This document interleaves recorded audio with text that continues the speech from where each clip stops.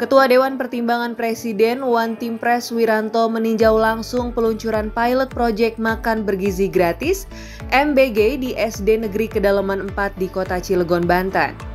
Anak-anak mengaku senang karena makanan yang disajikan memiliki menu lengkap plus susu. Program ini terselenggara berkat kerjasama pemerintah daerah dengan pihak swasta. Ketua Dewan Pertimbangan Presiden Wan Timpres Wiranto memberikan apresiasi tinggi terhadap peluncuran pilot project makan bergizi gratis di SDN Kedalaman 4 Kota Cilegon, Banten hari Rabu 21 Agustus 2024. Wiranto sempat memasuki ruang sekolah dan melihat langsung menu makanan yang disajikan kepada para murid sekolah dasar dan menyuapi langsung beberapa siswa.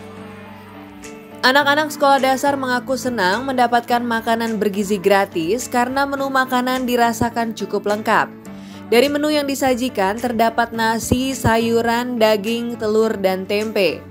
Para siswa juga diberikan susu agar pertumbuhan anak-anak memiliki tulang yang kuat. Ya ini kan dalam rangka peninjauan saya ya terhadap percobaan makan bergizi gratis ya di beberapa daerah untuk uh, mengetahui secara uh, real, secara nyata eh, hal-hal uh, yang memang uh, dilaksanakan dalam rangka memberikan satu makan bergizi gratis untuk anak-anak kita ya. Memang kalau satu daerah ya memang mudah, tapi pada saat skala nasional tentu banyak hal yang perlu uh, dipahami betul oleh para penyelenggara di daerah nanti. apakah masalah isinya, masalah standar makannya, masalah harganya, masalah untuk uh, uh, mengawasi kesehatannya, pembagian keuntungan bagi UMKM berapa dan sebagainya. Ini diperlukan ya. Mereka itu makan bergizi gratis yang ada di Cilegon ini eh, bagian dari satu program nasional yang didukung ya oleh perusahaan-perusahaan di sini yang CSR-nya ya diberikan untuk membantu mendukung program ini. Menurut para siswa, mereka merasa senang dengan bantuan makanan bergizi gratis yang diberikan oleh pemerintah daerah dan pihak swasta. Menu yang disajikan cukup lengkap dan bergizi seimbang. Sama lauk, ada telur juga ya. Hmm, seneng bisa makan bergizi gratis. Banyak. Biasanya bawa bekal apa gimana? Enggak. Biasanya enggak bawa bekal. Oh, biasanya nggak bawa bekal. Iya. Sekarang kalau habis sekolah makan gitu ya. Cepat makan.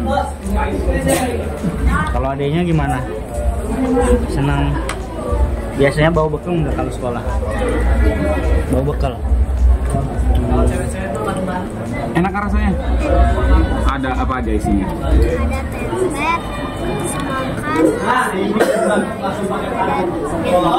Daging sama telur ya. Ada susu juga. Dia ada berapa kali makan gratisnya deh? Dua kali.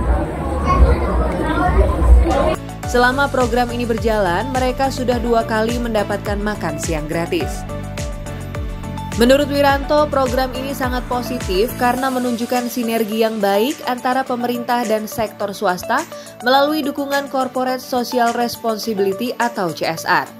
Ini adalah langkah penting dalam meningkatkan kesejahteraan dan kesehatan anak-anak Indonesia. Program MBG di Cilegon, Banten yang merupakan bagian dari inisiatif nasional diharapkan menjadi contoh keberhasilan yang bisa diimplementasikan di seluruh Indonesia. Program MBG bertujuan untuk menyediakan makanan sehat bagi anak-anak sekolah di seluruh Indonesia. Sesuai janji kampanye Presiden dan Wakil Presiden terpilih Prabowo Subianto dan Gibran Raka Buming Raka. Sebanyak 10.314 siswa dari 23 sekolah di Cilegon mendapat manfaat dari program ini yang didukung oleh perusahaan-perusahaan besar yang ada di kota Cilegon.